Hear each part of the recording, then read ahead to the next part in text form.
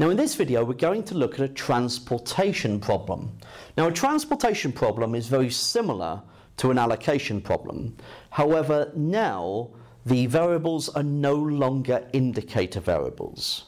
Okay, so this one could be a little bit more challenging to kind of get through and to kind of like see what's going on. So I'll just read out what the problem is and then we'll see if we can interpret what this table is really showing.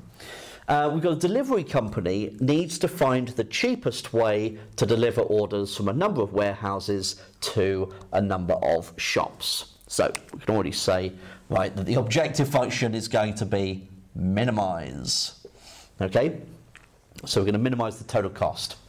There are three warehouses, so we've got A, B, and C, and four shops, one, two, and three, and four and each warehouse can fill the order of any one shop, but the cost of doing so depends on the distance between the warehouse and the shop. So, uh, what that means is that warehouse A can stock uh, more than just shop one. It could do some to shop one, some to shop two, some to shop three, some to shop four, or all to just shop two, for example. Okay? Um, the table shows the cost for each warehouse to supply each shop, as well as the availabilities of the warehouses and the demands of the shops. Formulate this as a linear programming problem. Right, so let's just look at this table so we can really understand what it means. So, warehouse A has 20 units available, warehouse B has 35, warehouse C has 40. Now, the total availability here uh, adds up to 95, and that is exactly the same as the amount that is required. Okay, just to be clear. So the amount that's required by the shops is precisely what we have available. Now, warehouse A could has got to send out 20, so all of these have got to be sent out to the shops.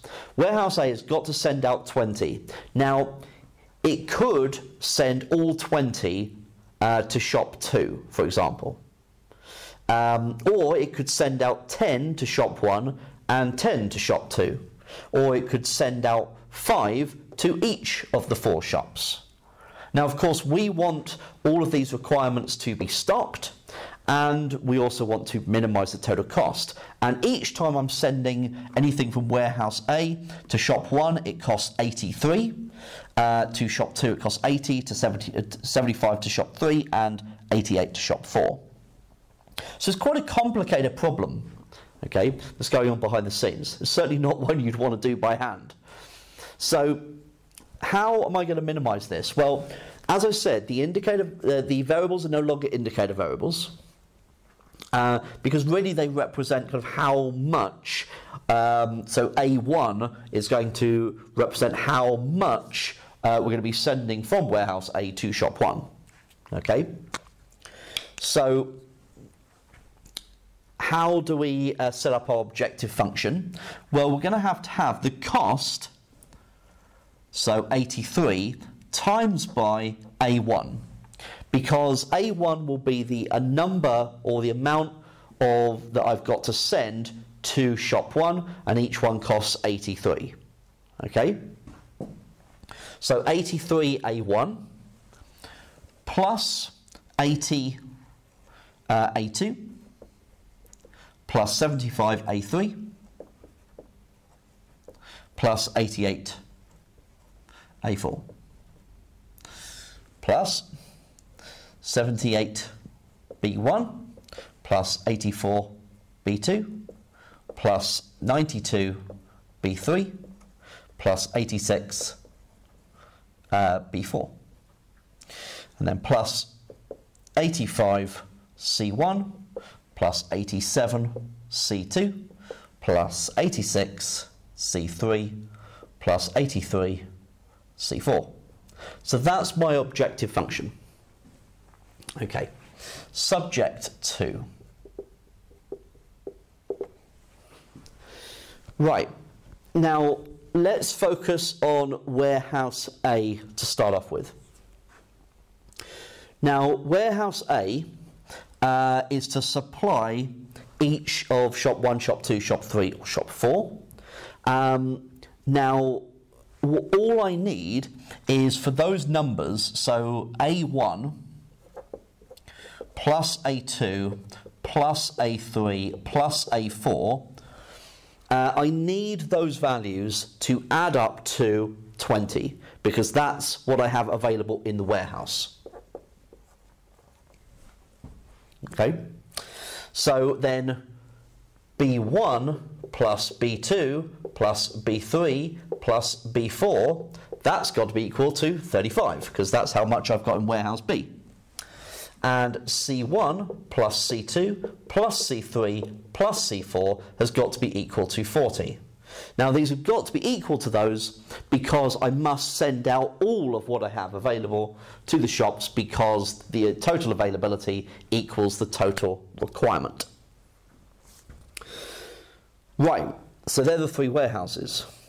Now, those constraints by themselves aren't going to solve the problem um, because essentially I also need to consider uh, the requirements that each of the shops has. I haven't actually got the requirements down as part of my constraints because otherwise what I could end up doing is sending uh, having A4, B4 and C4 and sending everything to shop 4 when actually they only require 22 and instead they're going to get the whole 95 which they don't want.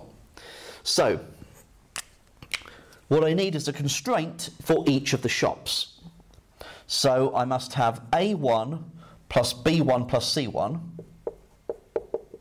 That's got to be equal to 15.